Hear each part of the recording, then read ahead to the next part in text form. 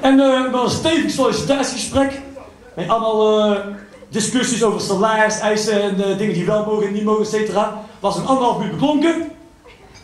En de bank kwam in handen van Max. Oftewel, de friboer was van men. Om te beginnen moest ik de norm veranderen. Want de bank was geen norm voor een frietent. Het moest een populair, aantrekkelijke norm zijn. Dus ik had hem maar genoemd de bittere bal. Dat trekt wel klanten.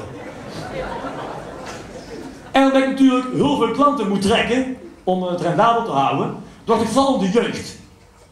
Alles moet tegenwoordig cool, gaaf en vet zijn. Nou, dat was met mijn vriend geen probleem hoor. Nee, helemaal niet. De Romen waren ze vet maar zijn. De kazerne waren vet. En de mensen konden gewoon zo binnengeleiden en op buiten glijden, want de vloer was ook vet. En ook wat niet onbelangrijk was, ook het uh, friet, friet, frikadel en kroketten waren vet. Ook al meegenomen. En natuurlijk niet te vergeten, mijn vrouw, Osmina, die was toch zo populair bij de jeugd.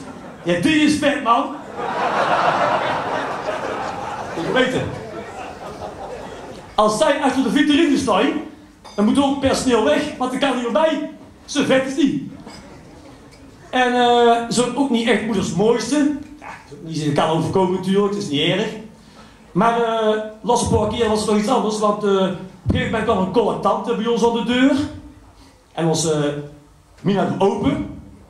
En zei, ik ben van de gehandicapte lepra, malaria, invalide, brandwonden slachtoffers.